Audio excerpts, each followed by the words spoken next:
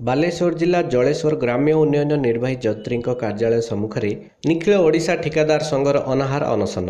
ସୂଚନା ଅନୁଯାୟୀ ଓଡ଼ିଶା ସରକାରଙ୍କ ସ୍ୱେଚ୍ଛାଚାରୀ ରାଜସ୍ୱ ସଂଗ୍ରହ ନିଷ୍ପତ୍ତି ପ୍ରତ୍ୟାହାର ସହିତ ରୟାଲିଟି ସମସ୍ୟାର ସ୍ଥାୟୀ ସମାଧାନ ଭାରତ ସରକାରଙ୍କ ଟେଣ୍ଡର ନିୟମାବଳୀ କାର୍ଯ୍ୟକାରୀ ଲାଇସେନ୍ସ କ୍ଷମତା ଅନୁଯାୟୀ କାର୍ଯ୍ୟଦେଶ ବଣ୍ଟନ ଠିକାଦାରଙ୍କୁ ଉଚିତ ସମୟରେ ପ୍ରାପ୍ୟ ପ୍ରଦାନ ଭଳି ଦଶ ଦଫା ଦାବିର ସ୍ଥାୟୀ ସମାଧାନ ଦାବି କରି ଜଳେଶ୍ୱର ଗ୍ରାମ୍ୟ ଉନ୍ନୟନ ନିର୍ବାହୀ ଯନ୍ତ୍ରୀଙ୍କ ଅଫିସ ସମ୍ମୁଖରେ ନିଖିଳ ଓଡ଼ିଶା ଠିକାଦାର ସଂଘର ଅନାହାର ଅନଶନ ଦେଇଛନ୍ତି।